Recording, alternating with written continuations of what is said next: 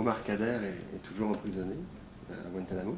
Ouais. Euh, beaucoup de mouvements euh, internationaux euh, humanitaires en fait de, demandent l'appui, la, du Canada pour sortir Omar Kader qui est un, Canadien.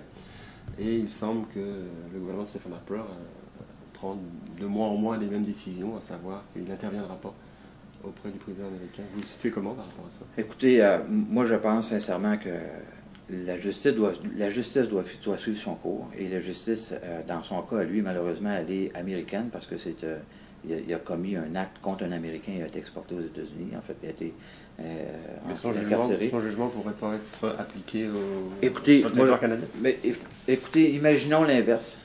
Imaginons l'inverse. Est-ce que si c'était un, un jeune Canadien qui avait fait ça et qui serait emprisonné au Canada, on voudrait que les Américains viennent le, viennent le, le- le- le juger? Je ne suis pas sûr.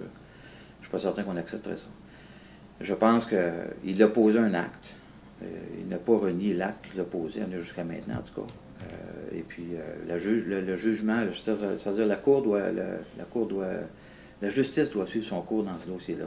Et le, gouvernement du Canada a été très, très, très clair. À partir du moment où il a été incarcéré et il a il a été accusé, alors évidemment, il demeure innocent jusqu'à preuve du contraire, mais il va suivre, ça va suivre son cours et euh, je pense qu'on arrive. euh, D'ailleurs, il a vieilli depuis, depuis ce temps.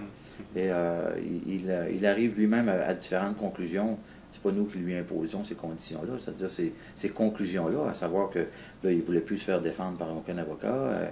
donc, il, il- comment, com- comment il gère l'interprétation lui-même qu'il fait de sa, position. Euh, écoutez, il joue ses cartes, il joue ses cartes qui lui appartiennent maintenant.